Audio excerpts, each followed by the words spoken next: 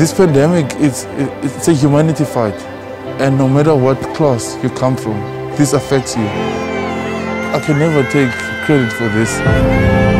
Everybody that is working with us here and was part of this, and the people of South Africa, like without them, this wouldn't be possible. People are believing in the things that we're doing. That's why we drive so far. That's why we've driven over 10,000 kilometers.